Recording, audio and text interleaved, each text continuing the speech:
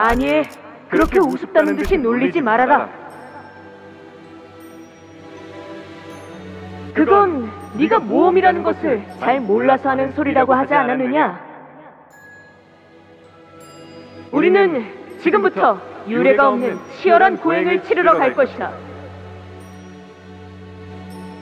네 눈에는 보이지 않느냐? 위대한 모험의 문이 우리에게 활짝 열려 있다. 그러니 잔말 말고 어서 채비를 갖추고 출발하자. 어. 하지만 조금 이상하다는 생각은 드는군. 어. 로신한테가 언제부터 말을 할 수 있었단 말인가?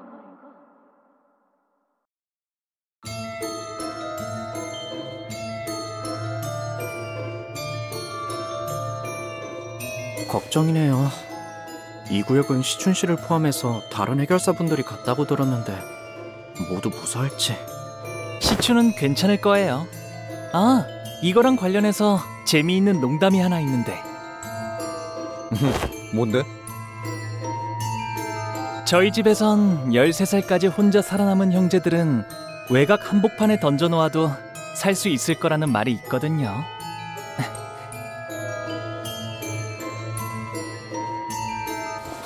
어, 아, 조금 서둘러야 하지 않겠어? 여기도 1구역보다 더하면 더했지 덜하진 않을 거라고. 아, 혹시라도 눈앞에서 동생이 잘못되기라다면 그럴 땐 유해라도 수습해서 언젠가 집에 돌아가면 잘 안치해줘야겠지요. 시춘도 제게 똑같이 해줬을 거예요. 그러냐? 어, 아 그러고 보니 좀 어, 춥지 않아 다들?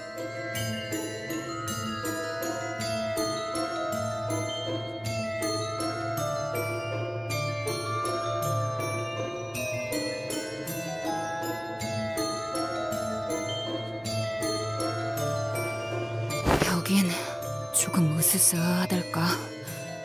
정막이 감도네요. 불길하게. 좋은 의미의 정막이면 좋겠는데. 이곳에 먼저 온 해결사들이 미리 다 쓱싹 해줘서 마주칠 혈비들이 아무도 없다거나.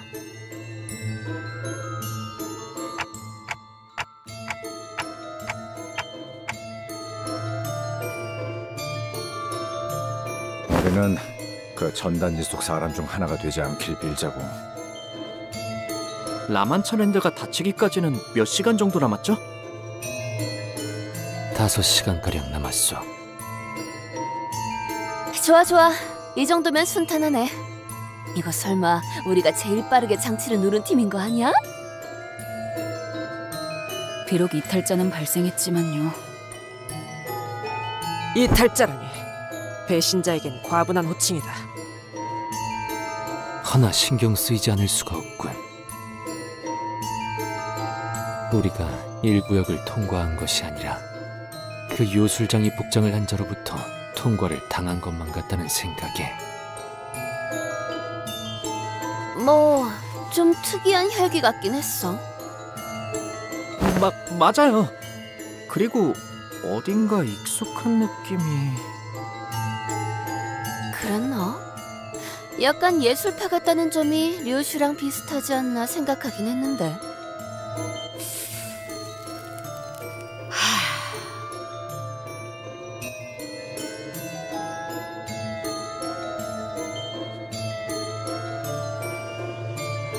귀, 귀엽네요.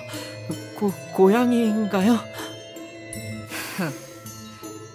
질질 짜고 있는 내 놈의 모습이다. 통역을 잘못할 경우 벌어질 모습을 표현했지.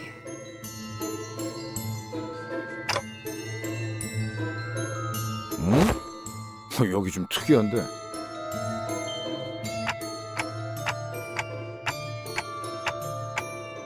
아 이거 좀 봐. 지도를 보니까 의무실이라는 곳도 있는 모양이야.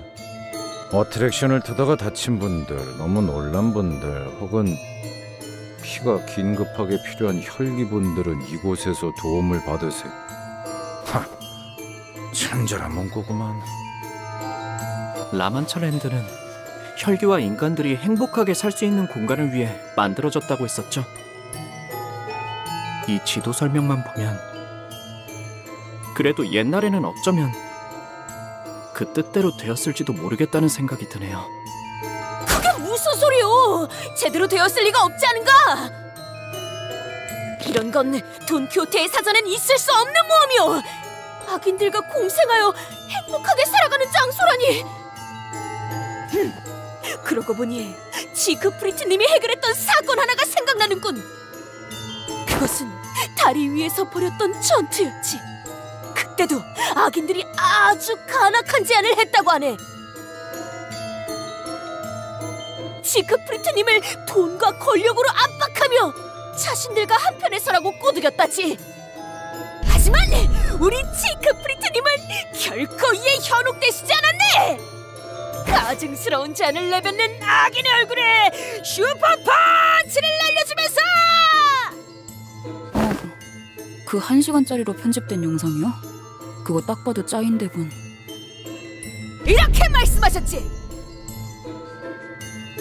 감히 이 지크프리트를 고작 이 더러운 눈으로 끌어들일 수 있다고 생각하는가?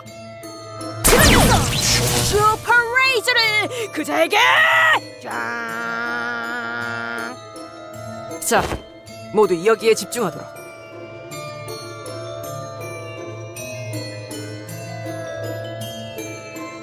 피즈머니들의 흔적들이 이 attraction에 집중되어 있다.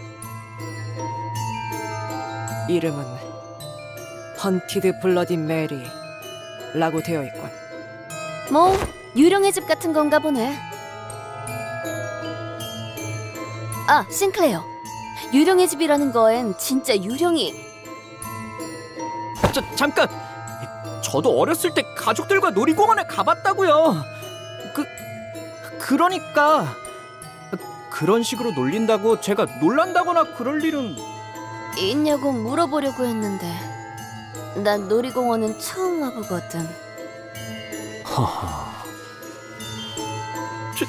죄송해요. 에이, 아니야. 그래서 진짜 유령이 나오는 거야? 보통 어, 엉성한 인형들이 나오는 게 전부일 거예요. 어린아이들 또한 이용이 가능한 어트랙션이기에 실제 유령을 배치하진 않는다. 공포를 조성할 만한 장치가 있을 뿐.